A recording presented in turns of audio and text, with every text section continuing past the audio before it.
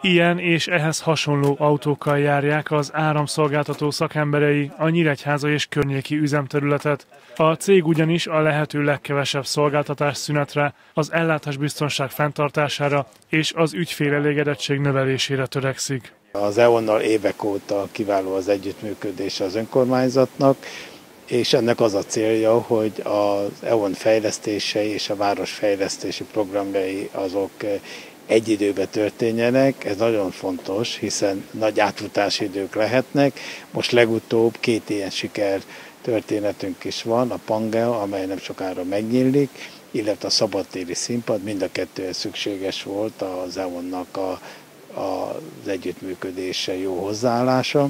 És hát a célunk az, hogy egy modern energiahálózat, villamos energiahálózat álljon rendelkezésre itt Nyíregyházán, az itt élők számára, az itt működő cégek és az itt fejleszteni kívánó cégek, vagy később betelepülő cégek számára is. Ez nagyon fontos, az infrastruktúra meglegyen. A polgármester hozzátette, a következő években jelentős közös fejlesztésekre készülnek, amelyekről már most folynak az egyeztetések, jelenleg pedig közel 50 helyen zajlanak beruházások, melyekről a vállalat vezérigazgatója azt mondta, két kategóriába sorolható fejlesztésekről van szó.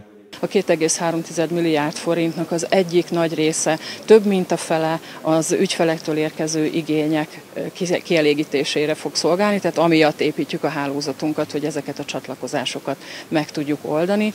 Ez azt jelenti, hogy, hogy olyan vállalatok, termelővállalatok települnek ide, akik, akik miatt bővítenünk kell a hálózatunkat, ők nyilván ide majd hoznak új technológiákat, munkahelyet adnak, nekünk pedig egy lehetőség lesz arra, hogy egyre több villamos energiát tudjunk értékesíteni.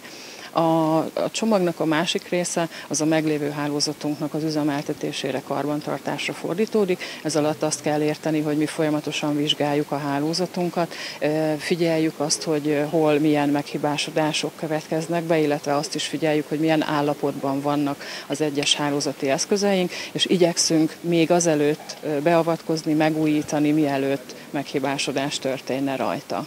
Haraszti Judit hozzátette, az újszerű megoldások, mint például a háztartási méretű kiserőművek és a hálózatba visszatáplálható energia kezelése, vagy az elektromos autók elterjedése és a szükséges töltőállomások fejlesztése további kihívást jelent a cég számára.